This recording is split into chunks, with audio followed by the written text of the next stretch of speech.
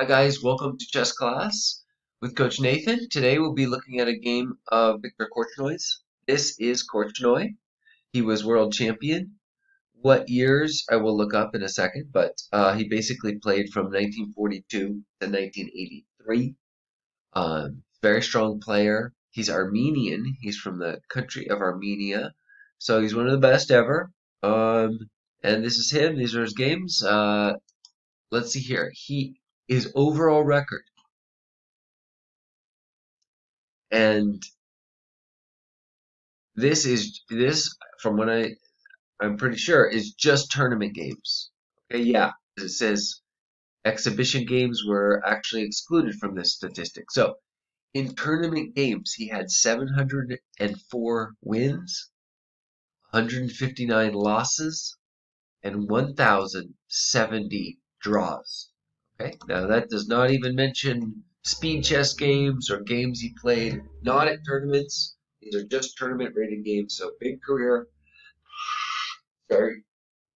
And awesome. Here, let's go to the game.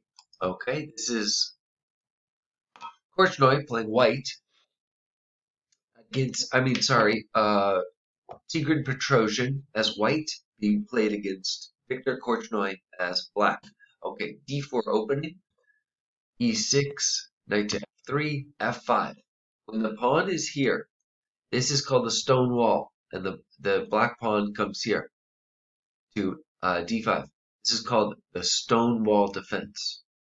Um, you'll play against it a lot, and so let's see how Petrosian plays against it. He's going to fianchetto on the king side, White bishop getting in on the big diagonal. d5. And we got the stone wall coming up. Castle.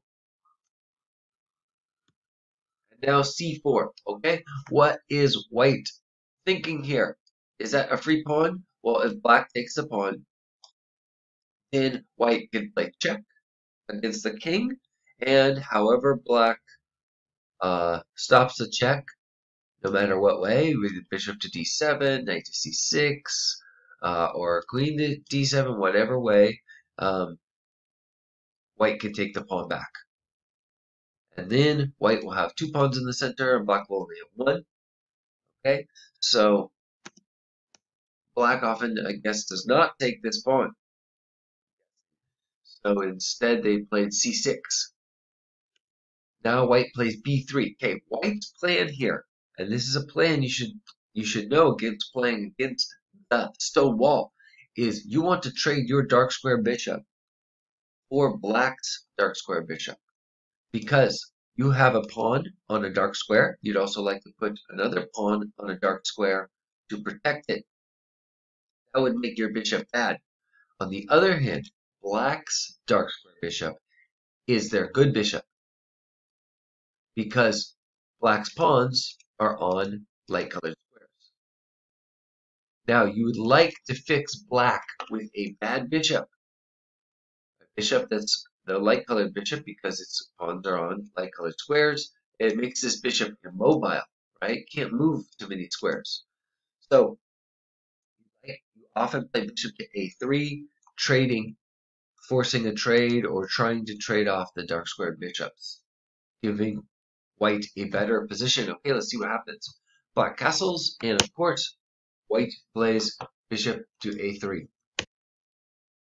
Bishop takes here. Notice also uh, I, what moves are available. Uh, taking, I guess, they're thinking is the best because it will it does kind of misplace our knight. They take possibly. Queen goes to e8. Sometimes queen goes to e7, attacking the knight right away. That's unprotected. In that case, uh, you play queen to c1, then you play queen to b2. I know it's a lot of moves, but that's the best moves, and you're also getting your queen on a sharp diagonal. Um, then your knight will actually head for the square e5. These arrows out of here. Once your knight goes boom to c2, e1, d3, that's a long road, but putting your knight on a very active square. e5. when black set up the stone wall defense, there's these pawns are very strong, but they do create a weakness. That weakness is on e5 because both pawns have been pushed, and nothing can kick out a piece from e5. This is called an outpost, when no pawns can kick it out, and it's being supported by a pawn. So, knight. Knights love outposts. It's on the opponent's side of the board. The knight is very active on an outpost, attacking four big squares on the opponent's board. That's why you'd like your other knight, other knight to go there as well. This is a big strategical point in the stone wall. It's a weakness. Both knights are aiming for it. If if you get that outpost, you're very happy. But instead, okay, queen plays to e8. Nonetheless, that's still the plan. To come to e5, it's still a weakness because it cannot, cannot kick our pieces out. Okay, so that's why knight went to c2. Now, queen goes to h5. Uh, queen may be setting up threats. Okay, you got to be careful of this. If this was your game and you were playing white, and your opponent just went queen to h5, you got to be careful. Queen is aiming at the pawn, the knight and the queen, and I know there's a knight here defending it now, but knight and queen are an amazing team. They are very strong tactically. Actually, queen and knight are stronger are more dangerous, can cause more damage than a queen and bishop. Not as strong because they move the same way. They move diagonally, but a knight has many more tactical possibilities. So queen and knight is a, a very dangerous weapon. Got to be careful when these pieces start swarming. Ooh, watch out. Now, right now the knight is here bending h2, but you know, a move like knight to g4 is now in the air, threatening a mate. So if this knight ever moves, even if it goes to a good square, then, you know, a quick move, you better be careful. Let's see what happens. Queen goes to c1. Maybe they, maybe, uh, since, um, black is fixed with this bad bishop, like we were saying before, maybe white would like a trade of queens, possibly, and go into a endgame with a better bishop. Let's see. Knight plays to e4. Of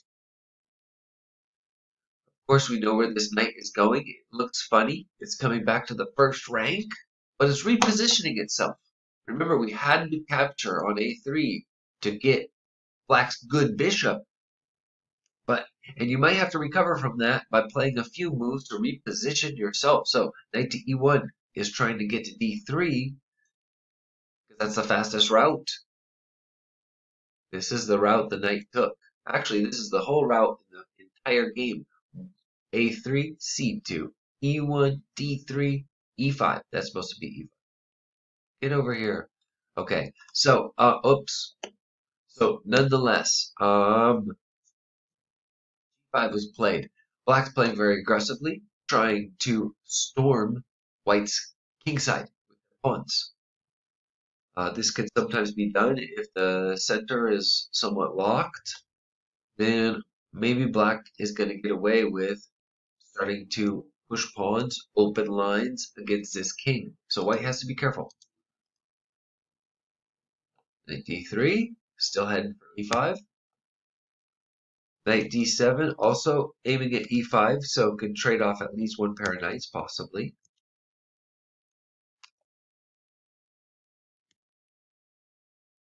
King wants to move over to h8 to make way for a rook. Maybe black dreams of opening the g file. Wouldn't that be good for black? Wow. Oops. All right.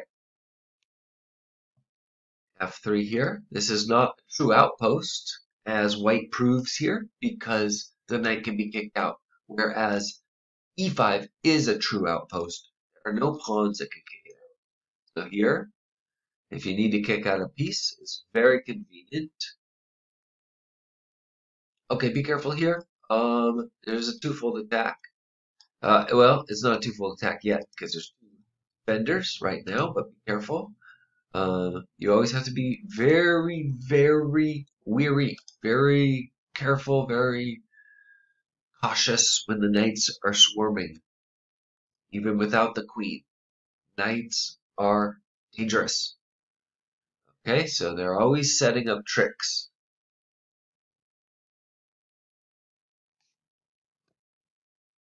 Okay, e4. This move made possible by the friendly people at bishop g2. Fianchetto bishop. Oops. Because, remember, it's a line controlling piece. Uh, there's two pieces attacking. There's actually uh, three pieces. There's actually one, two defending. Now, I don't know the idea here. Take, take, take. Ah, check. Okay, the rook is hanging. Guys, uh, take, take. That's why. If rook takes rook, okay, so if, um, let's say black takes, I think we could just take here. Now, they don't have time to take the pawn, so it looks like a free pawn here. Don't have time because their rook is under fire, and it's un it's well capture capture take. There looks like some tactics here. Possibly capture, removing the defender of the rook. If rook takes, queen can take.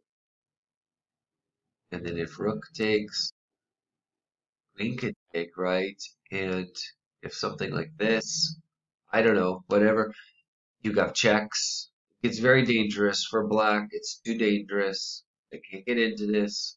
And there's uh, it's, it's way too good for white, rather. So, I think that's what's going on.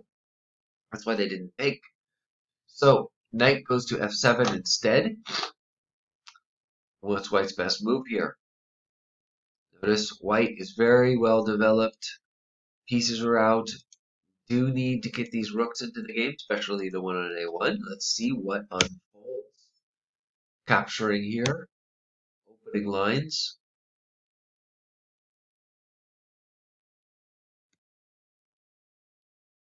Now, yeah, had to take because white is obviously threatening here, push making a uh, protected pass pawn. Black has to capture. Now, possibly capturing on d5 or f5. Guys, I'm not very good at tactics, so help me here. What's better? Or positionally. For some reason, I'm thinking taking on d5 because it seems to mess up the pawn structure. Either way, there will be a pawn on. Okay, so they do take on d5. Capture back, we can attack it right away. It looks like there's almost what looks like a a true double attack. Attack against d5, okay, attack against the rook. Of course, oh, it's not true. Rook can play d8 to protect. Okay, so let's see what happens. They play f4. Now, I think pawn takes, maybe knight takes. Thinking of pushing the pawn, possibly.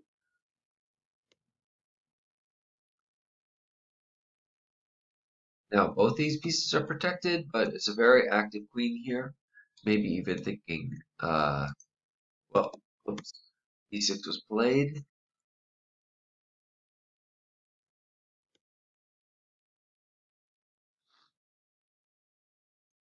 in a pin. So, what the move is. Knight to f4. Now, did white give away their rook? Not really, because black doesn't have time to take it. The queen is under fire from the knight. If the queen takes the pawn, free pawn, is this a free pawn? Should they take the pawn and get out of attack from the knight? No, they shouldn't take the pawn because, uh-oh, knight to e6 is a fork, attacking the queen, attacking the knight. Also, queen can't take pawn because knight falls. Queen cannot take the pawn here, also because the knight falls. Okay, so let's see what happens. Oh, they do take the pawn. Well, I'm wondering, are they going to get forked? Are they going to lose their piece? Does what happened? Oh, black resigns here. Black resigns. Okay, so there was no way to defend. Okay, so